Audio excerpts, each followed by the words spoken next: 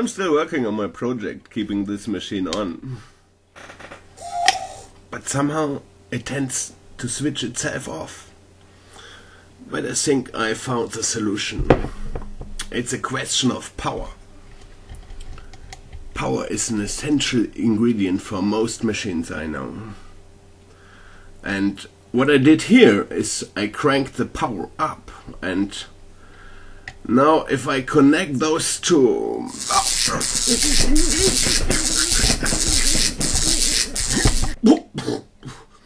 well I guess we need a new topic for the show. Some of you might have seen the last news issue 6 where the MandelX has been introduced.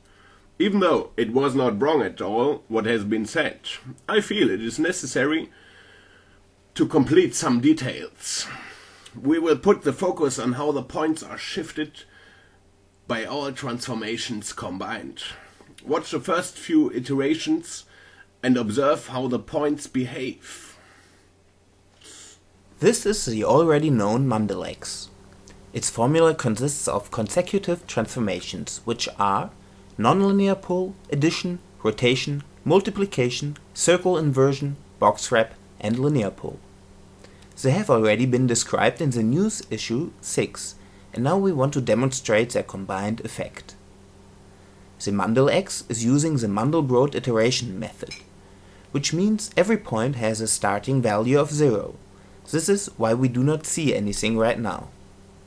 The now following addition is different for every point and gives us this square. Since we add certain different values to 0, the starting value, the output of the first iteration shows us a square where every point has the coordinates by what he has been shifted. In every following iteration, the points will be shifted by this original value when the addition takes place. The next transformation rotates the plane by the default value of 180 degree. Now a scaling takes place by the default value of 2, doubling the width and the height of the square. Followed by the circle inversion, applying the inversion to every point inside the default radius of 0.5 around the center. Here the box wrap operation is taking place.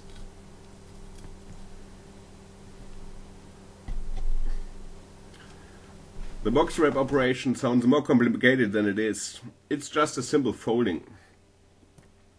Like I do here with my paper. This line marks the center of the paper. Those two lines mark the folding breaks. Both these foldings happen simultaneously on both axes.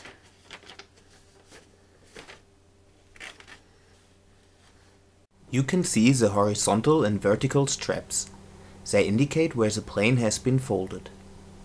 The last operation of the first situation is a linear pull, which drags the points outside the default distance of 2 to their opposite quadrants. So the first iteration is complete and we start with a new iteration. The first transformation, the nonlinear pull, was not observable in the first iteration because of the starting value 0. The nonlinear pull just drags the points to the center. Here comes the addition again, using the same translation as before for each point, but from their current values. At this point, you can clearly see the characteristic spinning cross. Again, a scaling takes place that reduces the number of points on which the circle inversion is applied on, because the critical radius stays the same. The now following box wrap produces already a more interesting pattern. Here we look at the linear pull, and the starting third iteration with a nonlinear pull. Let me draw your attention towards the center where already a more complex pattern is emerging after only two iterations. The square clusters are created by the third application of the original translation of every point. Due to the rotation and the scale, these clusters leave our watchable sector. We have even fewer points on which the circle inversion is being applied on. The box wrap brings back the square clusters. This time the linear and nonlinear pull seem to be already more remarkable, bringing the outside closer to the center again. While the translation takes place, another time, watch the former square clusters. They are still recognizable as squares, but now clearly consisting of many little squares, a nice example of emerging self-similarity. By now the number of visible points has been reduced by all these transformations. Some points are shifted so far that they never come back into our visible cutout. Now let's just lean back and watch the iteration procedure work. More and more self-similarity will emerge.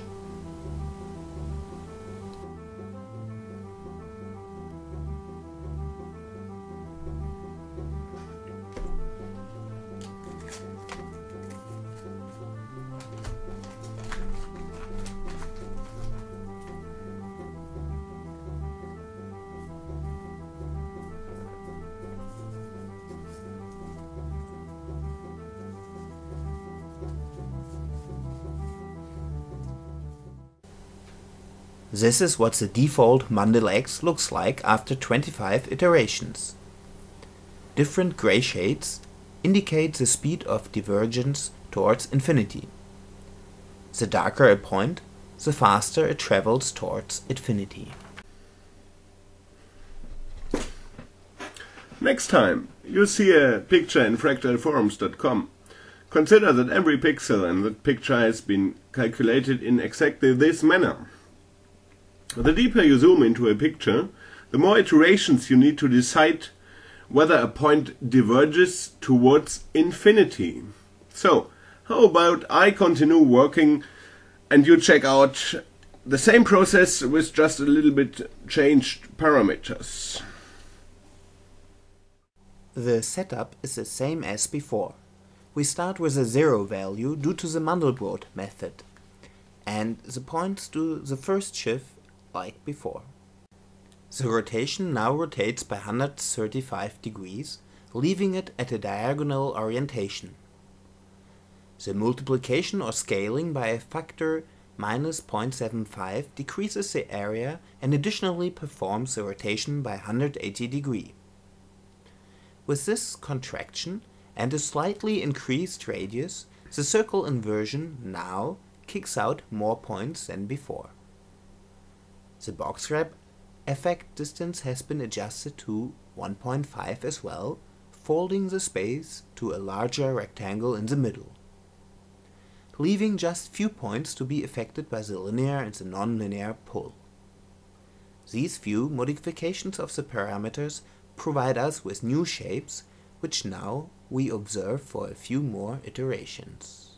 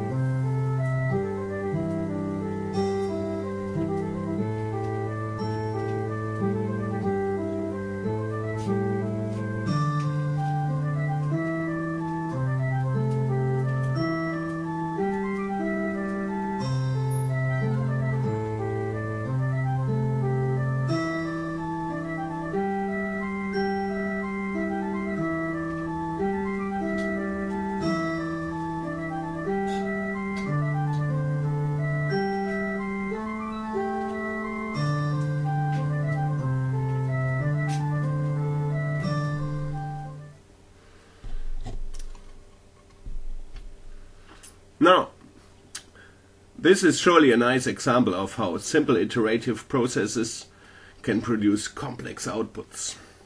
Now finally, the high point of the show. Let me demonstrate you my little machine. I fixed it after all. Oh, whoopsie daisies! Suddenly so dark in here. Where's my flashlight?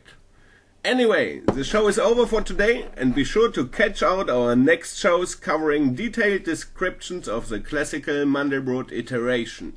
Thank you for watching and see you next time.